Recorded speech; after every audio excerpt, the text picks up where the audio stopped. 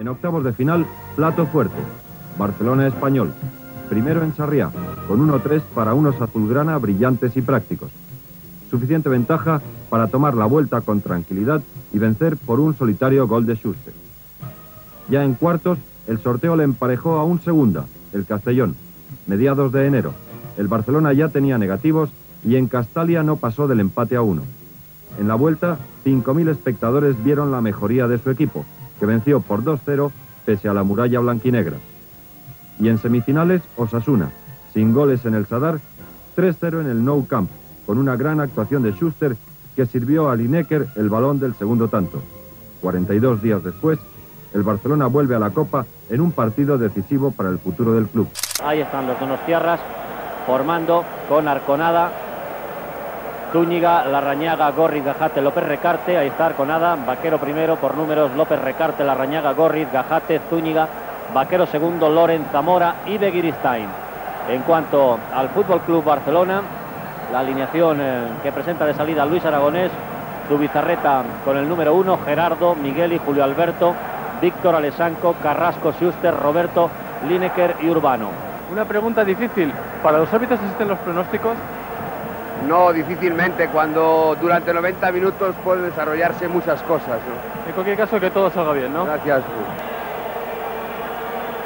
ha sacado de Gristain, su bizarreta sacó ante la entrada de José Mari Vaquero. Lineker con Zúñiga, la pelota se la lleva Carrasco. Carrasco y Lineker son los únicos que suben en el contraataque, pero atención, porque Lineker ha sorprendido a la rañada y finalmente se hizo con el balón Arconada. Sorprendió en velocidad Lineker por la espalda a la rañada y creó esta ocasión de gol para el Barcelona a la media hora del partido. La rañaga, el que ha cortado. López Recarte, Roberto Schuster. Schuster hacia Lineker. Lineker y a las manos de Arconada. Gorriz hacia Zúñiga. Ahora sí, Zúñiga. Se marcó de Víctor, el centro de Zúñiga. Zubizarreta pasó, pero no pudo tampoco Chiqui Begiristain rematar ese balón que lógicamente no esperaba. Pero ahora es cuando tal vez el partido se va la presión de Gerardo a Zubizarreta. Y también ahí se confió tal vez demasiado Zubizarreta. Schuster que va a hacer el saque de la falta, minuto 15 del eh, segundo tiempo.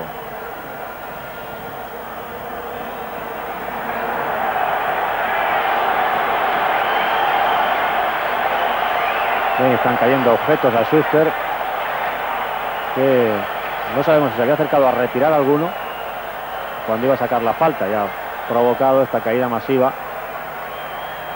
Yo creo que ha sido motivado porque cuando Ramos Marco había colocado la distancia de los jugadores, eh, Schuster ha vuelto a mover el balón y quizás eso ha, ha encrespado a los espectadores.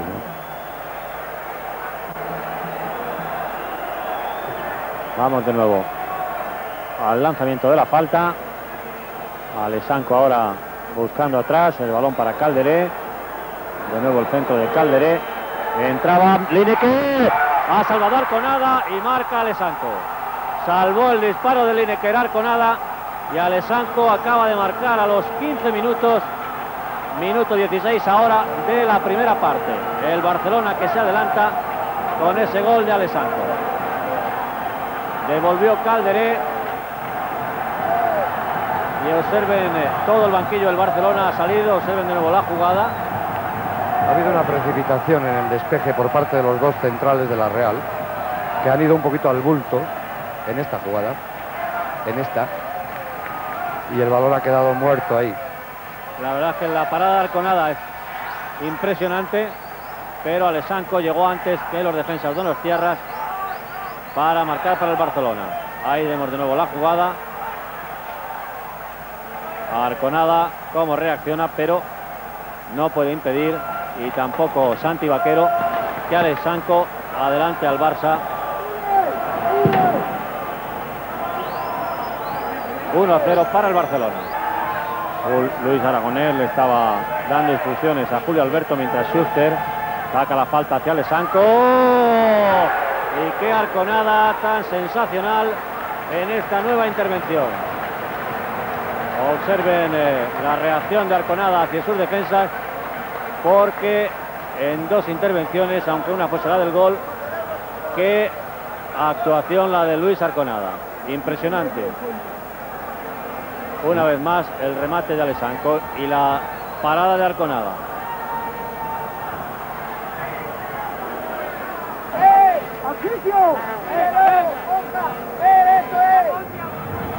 Alessanco para Schuster. José Mari Vaquero que se cruza. Recarte, José Mari Vaquero. Vaquero. Y ha sacado primero Zubizarreta. La pelota se queda para Roberto que despeja. El gol de Alessanco a los 16 minutos de este segundo tiempo. El error de la Rañaga. Vamos a ver Lineker y Arconada. De nuevo impresionante. Carrasco trató de sorprenderle, pero no pudo. Aunque observen el gesto de Arconada que hemos podido ver. Chiqui de Giristain. Ah, en posición correcta José Mari Vaquero. Y Schuster ha cortado cuando el balón iba a los pies de Fuentes. Carrasco. Calderé. Le quitó el balón. Recarte. Giristain. A punto estuvo de llevarse Urbano. Y ahora López Recarte el que ha entregado a Lineker. Uno contra uno, Lineker contra la Rañaga. Pero muy mal. Ha disparado fuera. El balón al área. Corta, toca Schuster. José Mari Vaquero. Ha parado Zubizarreta, minuto 45. El disparo de José Mari Vaquero. Todo el banquillo del Barcelona, observen, pendiente del momento en que Ramos Marco indique el final del partido. La Real de nuevo en ataque. López Recarte, Loren. Se va Loren de Julio Alberto, el centro de Loren. No va a llegar. No llega Chiqui Beguiristán. Los seguidores azulgranas, en número muchísimo menor, apenas 4.000, están celebrando ya el triunfo del Barcelona en la Copa. Luis Aragonés, observe fuera y el Ramos Marco que acaba de pitar el final del partido. El Barcelona que consigue de nuevo el título de Copa. Está junto a nosotros a José Ramón Alexandre, el autor del gol, y que se dirige ahora a recoger la copa en manos de su majestad. Vaya partido. Bueno, sí, ha sido muy duro, pero vamos, lo hemos conseguido. ¿Y qué gol? Bueno, importante. Fue importantísimo para el Barça, Schuster. Sí, ha sido el futuro para el Barcelona porque era la única ocasión para jugar la próxima temporada en una Copa Europea. En un momento en el que el Barcelona no partía como favorito tampoco en esta final. Bueno, era, bueno, es lógico porque, porque han hecho un Copa comparando los de Liga, de Copa, y claro, la Real Sociedad tiene una campaña mejor, pero las finales son otros partidos. Schuster, ¿esto puede cambiar todo el mal ambiente que ha habido en el Barcelona? Bueno, yo creo que hemos salvado un poco una cosa, ¿no? Porque una copa en Barcelona es muy importante. Yo espero que ahora podemos terminar un poco más tranquilo la temporada. ¿Y qué va a ser de usted, Schuster?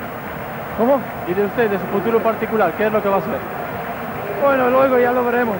Gracias y enhorabuena por ese triunfo. Adelante con más impresiones, Kiko. Cuando José Ramón Alessanco recibe la copa de manos de su majestad el rey en el palco presidencial y se la ofrece ahora al presidente del Barcelona, José Luis Núñez. Atención. Jordi Puyol y José Luis Núñez con José Ramón Alessanco, capitán del Barcelona, que acaba de recibir la copa de manos de su majestad el rey. Sí, adelante compañeros en el terreno de juego. Ahora en estos instantes tenemos a nuestro lado a Gary Lineker. Lineker, buen triunfo y felicidades. Recibe la felicitación de Toshak en estos momentos, ¿no, Lineker? Buen partido del Barcelona, sobre todo práctico. Sí, sabíamos que teníamos que hacer y hemos hecho. Um, buen partido, bueno, como, como pensábamos, eh, hemos jugado el contragolpe muy bien todo el partido. He visto unos abrazos, unos abrazos que significaban muchas cosas entre vosotros, ¿verdad? Oh, claro, fue un partido muy importante y ahora hemos ganado un título.